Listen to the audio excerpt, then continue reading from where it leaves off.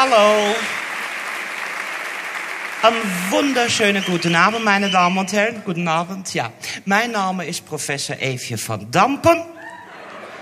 Komme heute Abend aus Rotterdam zu Ihnen. Man nennt mich auch het Meisje van der Gracht. Ja, Sie sehen schon, ich habe ein bisschen Humor mitgebracht. Und wenn ich heute Abend hier in Pforzheim einmal so in die Runde schaue, da sehe ich viele Verwirrte und verzweifelte Menschen heute Abend hier sitzen. Und ich weiß, meine Damen und Herren, es hat Sie jede Menge Mut gekostet, hier heute Abend zu mein Seminar zu kommen. Sie alle, meine Damen und Herren, sind heute Abend hier, weil Ihre Ehe ein Trümmerhaufen ist. Aber sie haben Glück, sie befinden sich in die allerbesten Hände. Nicht umsonst nennt man mich auch die Mutter Teresa der Lebensabschnittspartnerschaftliche Beziehungsarbeit. Und meine Damen und Herren, ich möchte Sie gleich zu Beginn von unserem Seminar eine ganz wichtige Frage stellen. Was ist Liebe eigentlich? Ich werde Sie verraten, was Liebe ist. Liebe ist Arbeit, Arbeit, Arbeit. Und vielleicht können wir das einfach mal alle zusammen zu Beginn von unserem Seminar wiederholen. Ja? Los geht's. Liebe ist. Ja, wenn Sie genauso zaghaft an Ihre Schrotthaufen, Trümmerhaufen Ehe zu Hause rangehen, da wundert es mich nicht, dass Sie alle hier sitzen. Frau Allegro, Sie brauchen gar nicht so blöd zu kichern.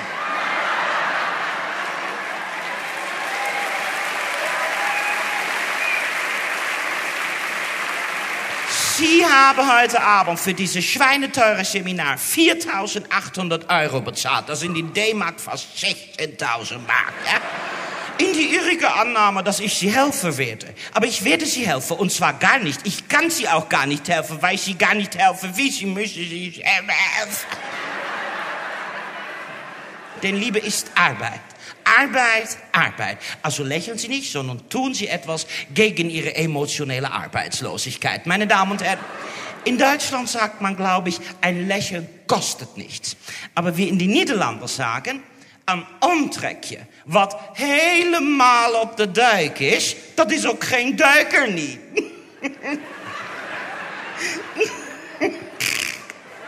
hm. Haben Sie es verstanden?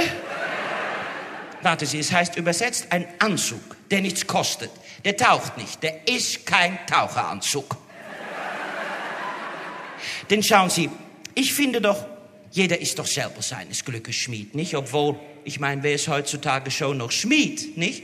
Außer vielleicht die eine oder andere Lesbierin in Mecklenburg-Vorpommern.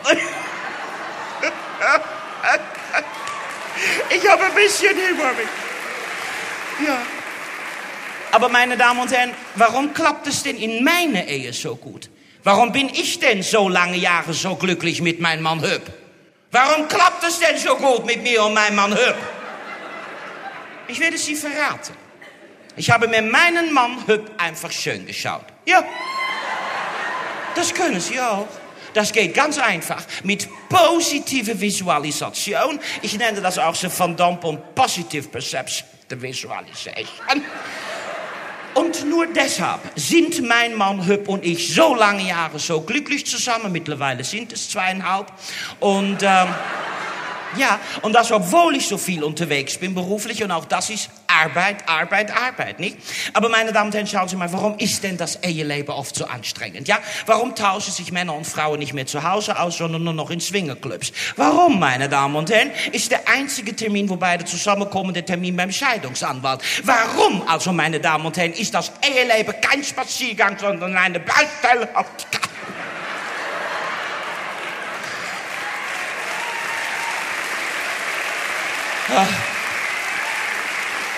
Warum also, meine Damen und Herren, ist Liebe Arbeit, Arbeit, Arbeit? Wissen Sie, woran es liegt?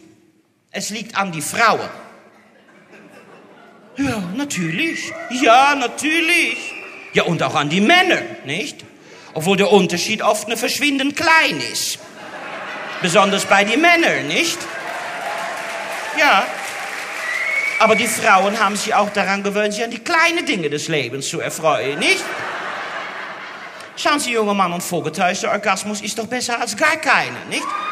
Oder glauben Sie, es macht Ihre bildhübsche Partnerin Spaß, so zu stöhnen? Das ist anstrengend. Das ist Arbeit, Arbeit, Arbeit. Es ist wohl wahr. Es ist wohl wahr. Und in Krisenzeiten, meine Damen und Herren, muss man zusammenhalten. Und die Ehe ist eine Krisenzeit. In der man die Probleme gemeinsam bewältigt, die man allein gar nicht hätte. Nicht? Ja, ist doch wahr. Aber meine Damen und Herren, ich möchte Sie noch eine sehr provokative Frage stellen. Glauben Sie, dass Männer und Frauen überhaupt noch irgendetwas miteinander zu tun hätten, wenn es die Sexualität nicht gäbe? Ich glaube nein. Ich glaube nein. Ich glaube nein. In die Niederlanden sagen wir, de mannen zouden ons helemaal op een vertrekje van de continent aankijken.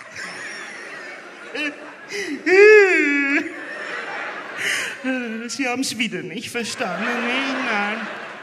Warten Sie, ich übersetze es für Sie. Es heißt, die Männer sind, äh, die Männer sind, die würden sie nicht. Sind nicht, die würden sie waren. Männer sind, würde nicht, sind sie nicht. Die Männer würde, Moment, die sind, würde, die Männer sind, würden sie nicht mal von vorne hinter drauf schauen. Ja, Sie haben es jetzt nicht verstanden, aber ich weiß ja Gott sei Dank, was ich meine, nicht? Aber trotzdem gibt es die Sexualität und das macht es doch so schwierig. Schauen Sie mal, nicht umsonst heißt es doch, geh schlecht. Es geht schlecht. Ja.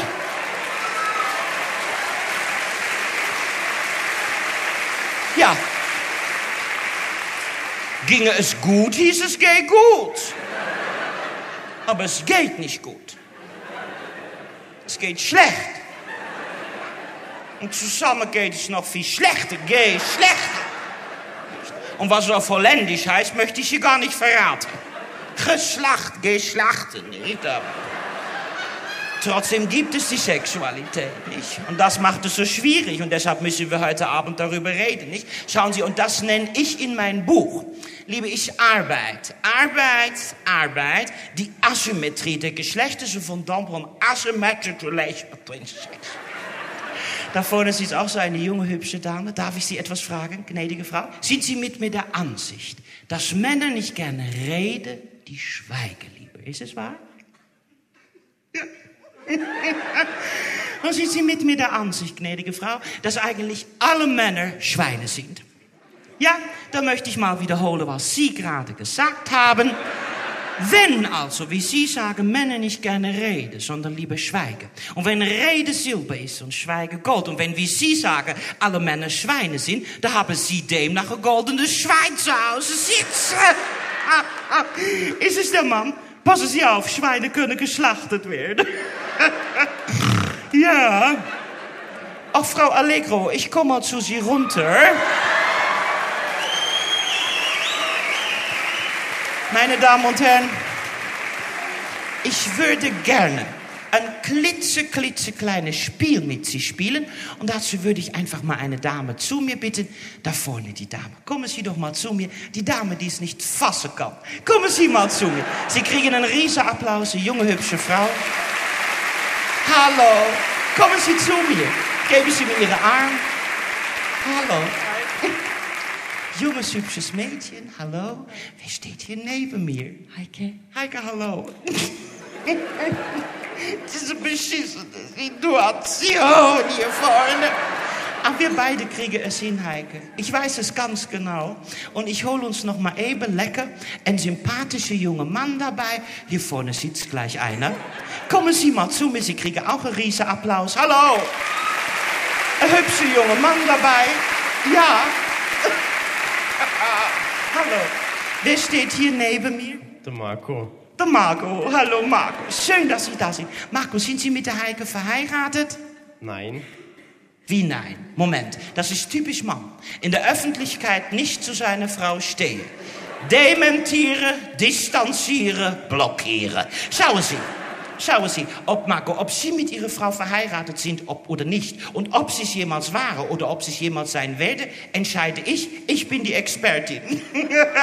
Machen Sie sich nicht verrückt. Ich gebe Sie mal ganz kurz ein schönes Beispiel und vielleicht darf ich einfach mal der Herr da vorne bitten, wenn Sie einmal nur kurz aufstehen und sagen mir Ihr Vorname.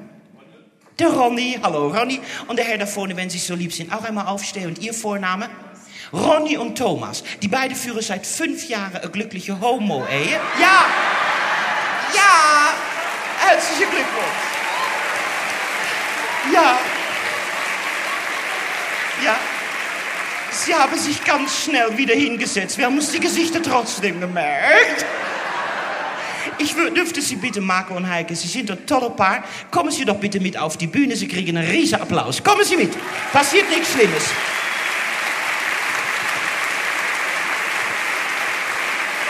Bitte schön.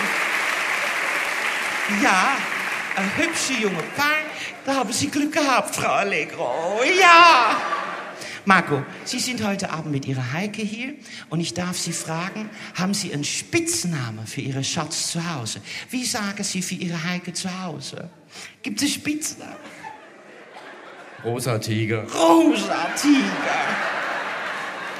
Ich finde, das ist eine ganz beschissene Situation. Marco. Ja, Passen Sie auf. Ich würde vorschlagen, wir fangen ganz von vorne an mit einer kleinen Übung. Ganz wichtig für die Herren hier im Saal.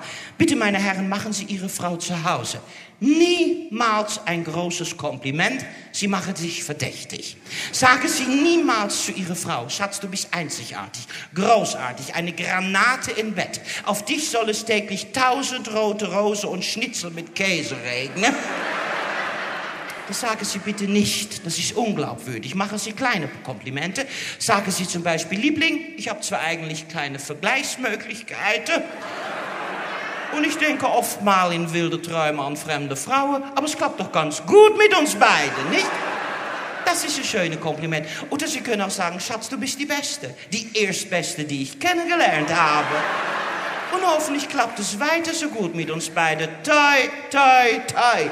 Das sind schöne Komplimente. Und Marco, ich komme wieder zu Sie. Und jetzt schauen Sie mal Ihre Heike an. Sie hat strahlende Augen. Sie ist eine wunderschöne Frau. Haben Sie ein kleines Kompliment für ihr mitgebracht? Was möchte sie ihr sagen? Ja, wir wollen doch arbeiten. So spontanes Kompliment hätte ich jetzt nicht. Ja, wir arbeiten ja auch dran. Sie ganz beschissene Situation. Sie hat schöne Haare, gell?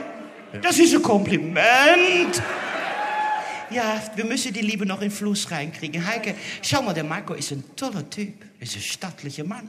Hast du für ihn auch ein Kompliment mitgebracht? Ich finde, das ist ein Kompliment. Das ist ein Kompliment. Merken Sie, wie die Liebe wieder in Fluss reinkommt, meine Damen und Herren. Passen Sie auf, ganz wichtig für die Damen. Ganz wichtig. Bitte, bitte, bitte, meine Damen. In eine Frau steckt nicht nur eine Mutter, Hausfrau, Schwiegermutter, Frau, Tochtersfrau, Hausfrau, Schweifrau drin. Nein, in eine Frau stecken großartige unterschiedliche Persönlichkeiten drin. In mir stecken bis zu 18 unterschiedliche Persönlichkeiten drin. Matahari ist mit drin. Cleopatra ist mit drin. Auch ein kleines bisschen Königin Beatrix ist natürlich auch mit drin, ist klar. Aber ja, ja.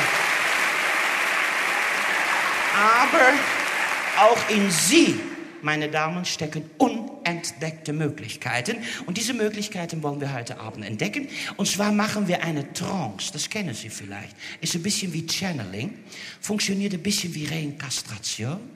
Und ja, ja. Und ich würde es mal auf die Bühne demonstrieren. Ich gehe jetzt gleich mal in eine Trance. Und Sie beide kommen mal lecker dicht bei mich bei, wenn Sie mir helfen.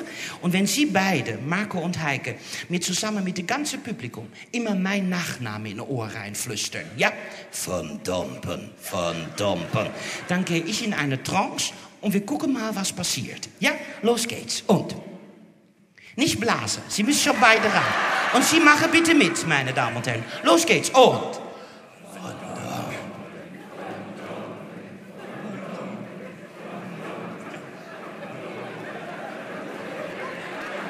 Haben Sie Knoblauch gegessen?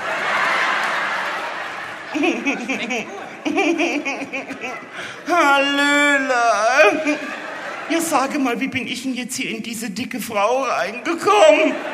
Bitte lieber gehen Sie doch raus hier. Es ist doch viel zu eng hier für uns beide. Hallo, wer spricht? Der Mann, welcher Mann? Hallo, hier Hier spricht Horst Schlemmer. Ich stecke tief in Ihre Frau drin und bleibe in ihr bis in alle Ewigkeit. Ach, Hüb, du bist es. Nee, Schatz. Ich bin gerade bei der Arbeit mit Marco und Heike. Ich bedanke mich bei Sie beide, weil Sie waren ein großartige, mutige Paar. Und ich habe eine Bitte an Sie. Geben Sie doch dem Publikum und mir das Gefühl, Heike, dass ich ein bisschen was für Sie tun konnte, wenn Sie Hand in Hand von der Bühne gehen. Und Marco, ein toller Paar. Dankeschön. Und Sie denken daran. Liebe ist Arbeit, Arbeit, Arbeit. Das heißt ja auch Blow Job und nicht Blow Holiday.